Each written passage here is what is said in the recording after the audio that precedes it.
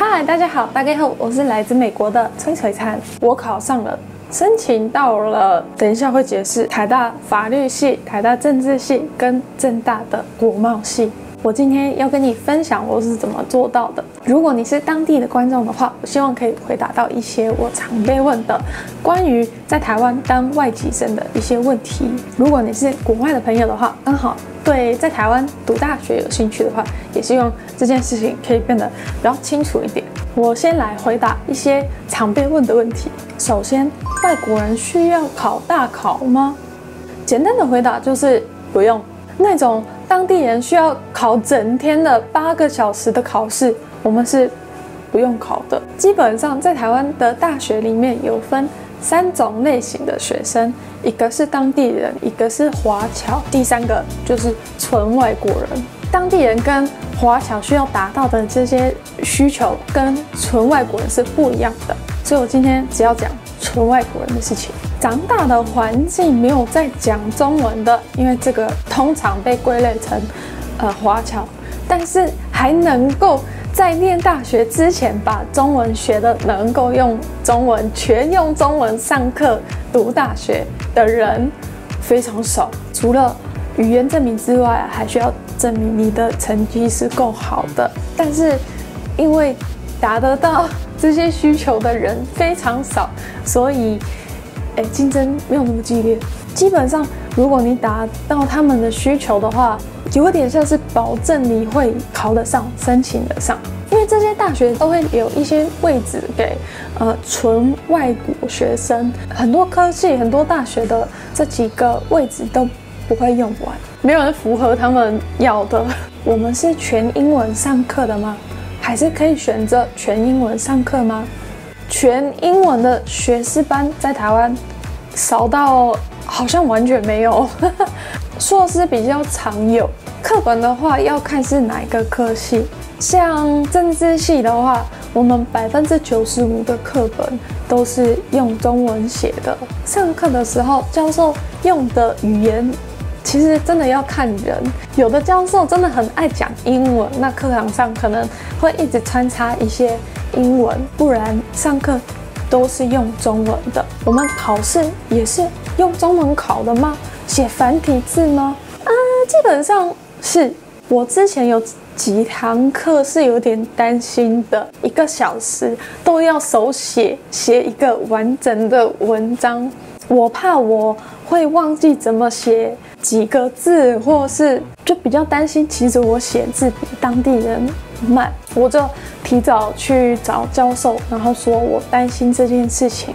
如果我忘记怎么写字的话，我可不可以在上面写拼音？教授都会说没关系，请你写英文。可能十个教授里面会有九个会直接请我写英文。我有跟这些教授说，我不想要依赖英文，但是其实他们也很想看英文的 考卷。教授。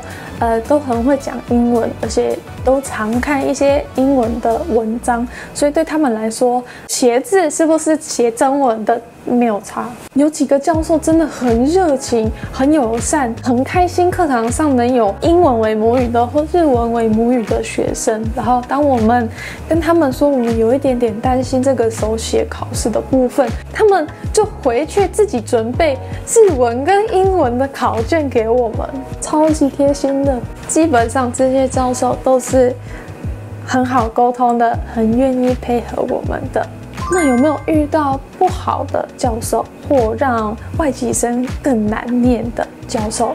有，政治系的其中一个必修课也是必修教授，没有那么友善。我们第一天上课，他跟所有的学生说，不管你们表现的多好，我每个学期都会当掉。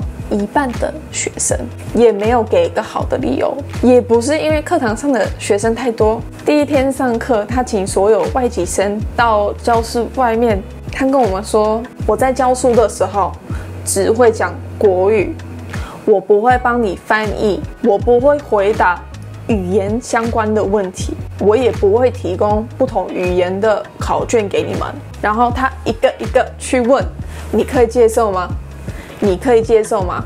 你可以接受吗？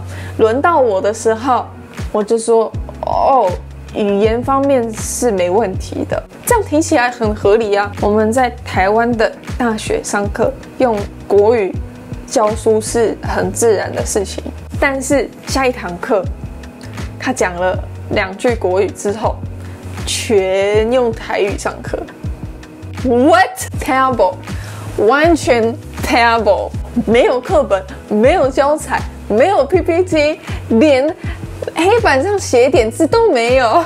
我一开始有录下来录音，然后把那个录音档给我台湾的朋友听，请他帮我翻译成中文，可是连我台湾的朋友都听不懂，我就 完蛋了。我不行，连当地的朋友都不行，我怎么可以？我马上跑去办公室跟他们说，我知道这是 我们必修课，我知道这是我们必修教授，但是我是来这里学习的，我在这堂课上是学不到东西的。还好办公室里的人说，嗯，那我帮你换另外一个教授，没关系，没事没事，都是过去，至少我没有被当掉。我不给他机会当我，也太坏了吧！我想要给你看，我是经历过了什么样的中文训练才考得过。看看我当时的笔记本，这是我还在学中文的时候，有没有？思想与社会，为什么上面写这么大的字？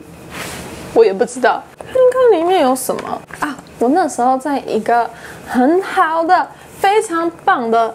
语言学校学习那个叫做 ICLP，是非常难学的一个学校。我们每一天都要考试，课堂上顶多只有四个学生，而且每一天一定有跟老师的一对一一个小时，就是会让你觉得压力超级超级大啊！那时候我在学什么字啊？啊，这个很好哎。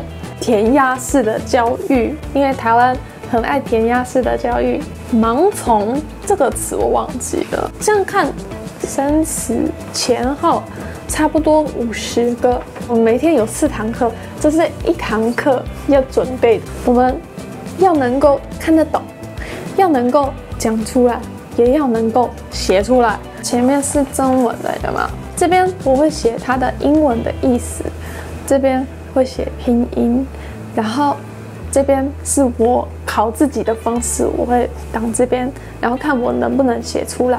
无可奈何，我们那时候在学功利主义，五官紧要，先天下之忧而忧。看一下，除了生词之外还有什么？啊哈，还有一些文法或好用的说法，像是这个。A 对 B 的影响反而远不如 C 来的，像是父母对他的影响反而远不如朋友来得大。我该复习一下。虽然台湾的天气不好，然而大体上说生活很舒服啊，很好用呢。可是他们不会教的是 呢吼啊啦，哈哈，这是我自己学的。你看我多认真。那我给你看当时课本的一点点的内容。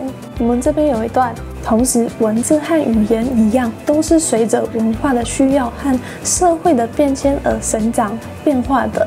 这种生长变化是自然而然的，如同一个人身体一细胞的生长变化一样。虽然有时候可以用人工加以左右，但是那种力量是微乎其微的。呜，生词的部分，一章节里面会有两百多个，像什么呢？各有千秋，词不达意，说不尽言，言不尽意，以心传心。啊，我现在的中文一定没有那时候那么好，可是那也是因为我回美国一段时间了。嘿，我念的 ICLP 真的是非常一流的学校。也是美国那种一流大学的学生，为了念好中文，跑去念的。疫情过后，我真的很想要带相机进去，让你体验到那个学生可能一日的压力 跟功课是怎么样的，就可以听正在读的。学生中文是多厉害的，真的有一些就是每一句都会用成语或一些文言文。我跟你讲，他们的中文都比你们的好。大家会想要进去看看这种中文学校吗？如果有兴趣的话，可以在下面留言告诉我。有没有其他问题，都可以在下面留言问我。谢谢你看到这支影片的最后面，喜欢的话，希望可以帮我按个赞。还没订阅的朋友，也欢迎按一下订阅。我每周三都上传新的影片。所以希望我下个影片也可以见到你。OK，拜。